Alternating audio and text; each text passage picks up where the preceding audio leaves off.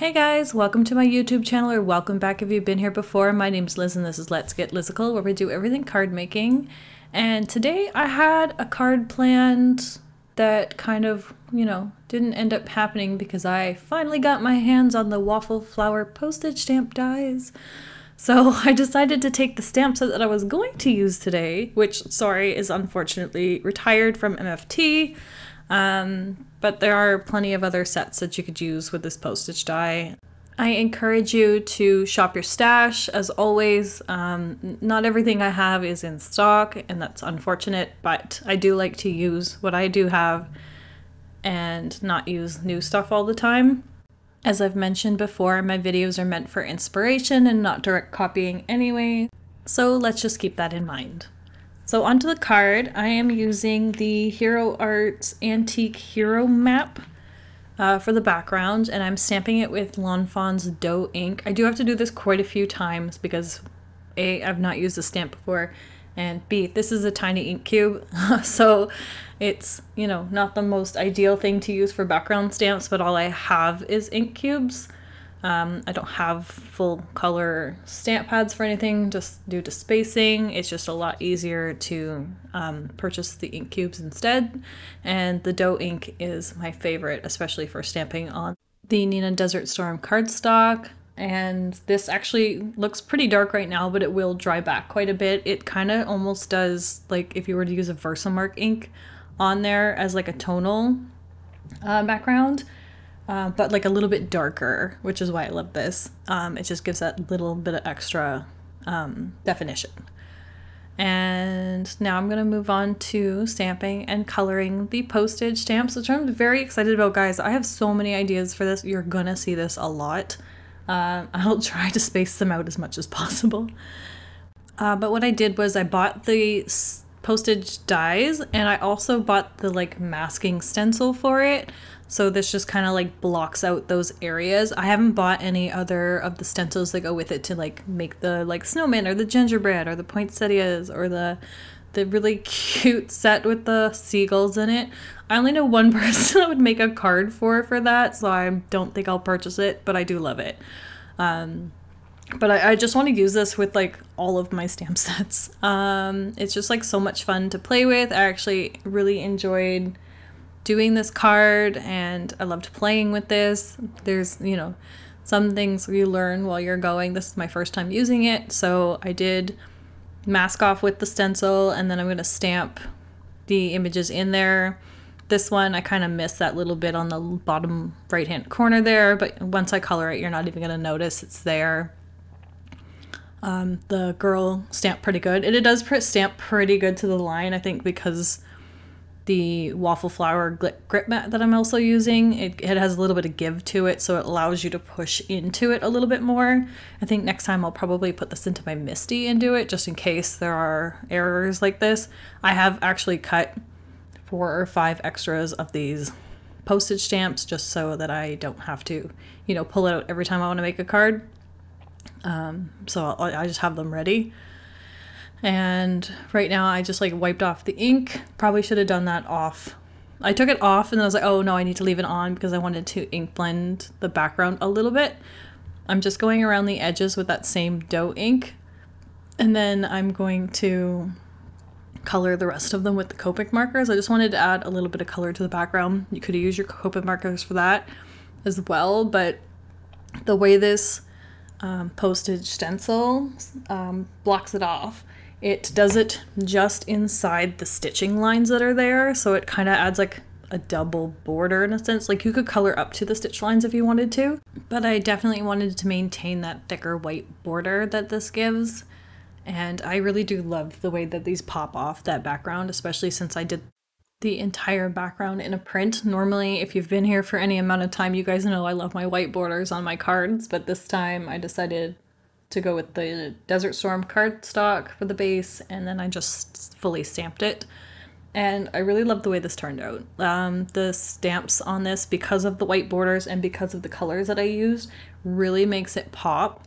And I think also adding that little bit of the like brown blending in the background with that Doe ink uh, just helps it like kind of highlight the characters because when I was ink blending, I tried very carefully not to touch the characters at all. I just wanted to um, get as close as I could with it. I could have also ink blended in blue to give it like a bit of a sky look, which would have been nice. And I think that was my original plan, but I just ended up using the Doe ink because it was already on my desk. And I actually do love this way this turned out. But I think that, you know, next time maybe I'll try it with the blue. I think it would also help that pop a little bit more and just add a little bit more color to the card. I kept this as a very like simple color palette, I guess. I use reds, browns, and grays. Um, I added a little bit of gold here and there just uh, to the chest and the edge of the pirate hat where like piping would be, which is what I usually do for coloring for this as well. I think the only thing I did different for coloring was the shirt on the pirate. I usually color each stripe differently, but I saw one online earlier where they colored the whole shirt one color, which I would never think because, like, to me, the stripes are there to color in each stripe differently, but I think it gives it more of a, you know, Linus from Charlie Brown look, and I love it. It's so cute. Um, so I thought I would give that a go for today. So maybe I'll do it a little bit more often. But yeah, so I will play music for the rest of this coloring session and get back to you when it's over.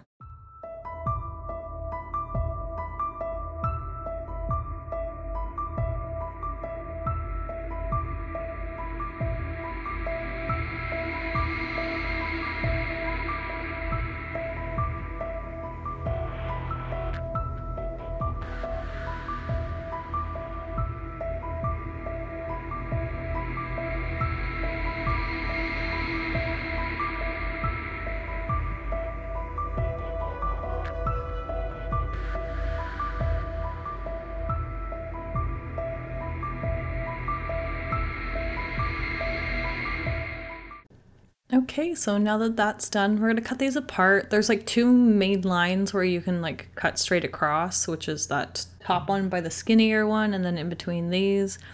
So that's the way I decided to cut it. Um, and then I'm just gonna cut the three that I need. There's a few, one that I had to throw out, I think because I had too much ink on it. I should have masked the other ones off, but again, I have a few sheets of these ready to go. Um, so I'm not too worried about it. The other one's got like very little ink on them, so I'm think I'm going to salvage them and try to use them for another project. And then I decided I was going to add this Ahoy Mate sentiment. And we're also just going to cover up that bottom right corner of the treasure chest stamp just because I did smudge the gel pen a little bit. If you're going to color with gel pen, leave it to the end. Uh, don't do it in the middle like I did um, because you're going to smudge it with your hand multiple times.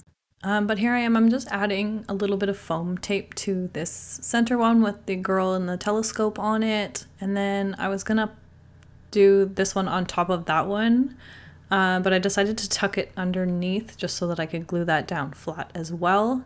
And then the only thing that would be popped up would be the girl, and then I'm also going to pop up the sentiment once that's done. So I just lifted it a little bit so I can tuck this little guy in here. And then I'm just gluing it down flat and then I'm going to heat emboss the Ahoy Mate sentiment on some black cardstock. I did stamp it twice because the first time I kind of put it down onto the block instead of picking it up with the block, so I think it got a little bit of a curve to it, which I didn't realize until I put the embossing powder on it. So I see here, oh, it's looking a little curved. I'll try that again. So I'm just gonna like lay it flat and then pick it up with, with the acrylic block, which is the way you should do it, because it just makes sure that the sentiments are laying more naturally flat and then you're not warping it in any way. And then I'm just gonna use my heat tool. I'm gonna heat both of these. I'm gonna end up tossing one out, but it's just, you know, less mess for me um, to heat emboss both of them. And then I'm gonna cut out the bottom one and, like I said, toss out the top one. And I'm just using my black eraser here to go around it just to make sure all that powder's off. And I will trim this and prop it up on some foam tape. Then I'm going to end up adding a couple of gold confetti bits, like the smallest ones in the assortment, to the treasure chest stamp because the ones that I drew on there with the gel pen don't stand out enough. There are some in the stamp set, but I didn't want to use those. And, and it was kind of like a last minute decision to add them anyway. So I just thought I would help cover them up with the confetti bits and it gives it a little bit of, you know, shine here on the card. So that's pretty much our card for today, guys. Thanks again for joining me as always. Uh, if you like this video, please give it a thumbs up and comment down below. Let me know what your thoughts are. If you haven't already subscribed to my channel, please subscribe because I love to have you here. Uh, we always have some fun videos and new launches coming out within the next month, just FYI. Um, so stay tuned for that as well.